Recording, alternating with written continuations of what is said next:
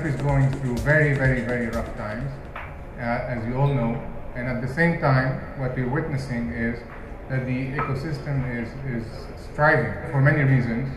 Most important is people, but it's also striving because we can see that uh, uh, many things are moving forward and quickly. I just want to say that we were very happy of the uh, this year's GEW. Uh, we've had uh, over 50 activities, around 50 activities uh, throughout Lebanon, and this is very important that not everything is done in Beirut, but in different regions of Lebanon. They include, as you know, three startup weekends.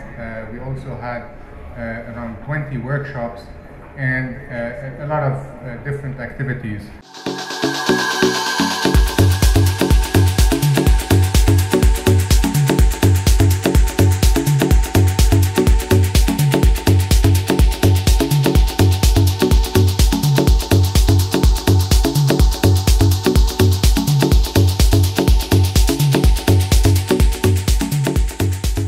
Years ago, we had nothing. We had almost nothing here in Lebanon. Uh, but every year, it's getting better and better. A startup cannot cannot start on its own. It always needs a community behind it. It always needs someone that could back it up.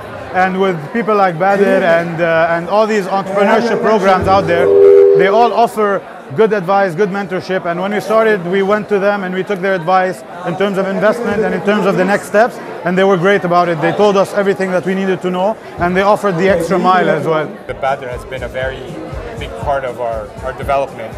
Um, so for them, for sure. Um, in general, the Grow My Business and the MIT Forum in general have also helped us quite quite a bit.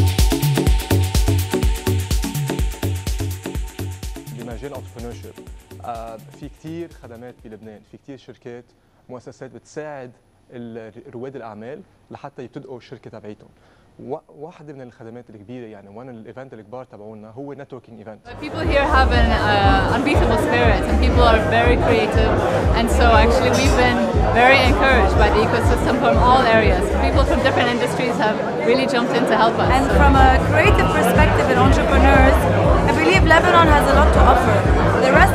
Region, the countries uh, offer like a, a different kind of uh, ecosystem. Now it's up to us. There's no more excuses. The ecosystem is there. It's up to us